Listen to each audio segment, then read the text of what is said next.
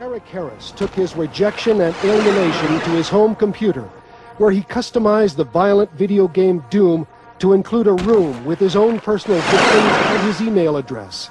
Neighbors say another version targeted them. Eric created uh, a level on Doom using our neighborhood as the, the matrix and, and our house as the main house, the last house for the, uh, the main guy you have to kill.